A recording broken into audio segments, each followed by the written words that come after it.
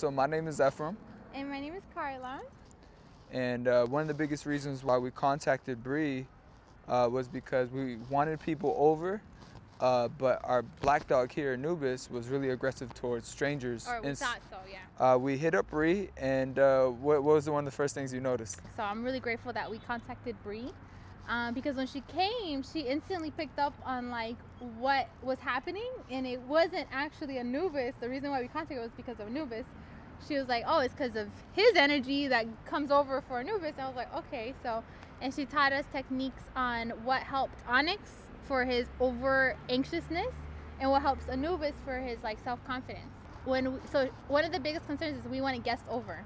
And so now we're able to have people over, like we, we put into practice, and we're like, this is crazy. yeah. yeah, so when we have people over, And Wax Yeah, is so really much good, better yeah.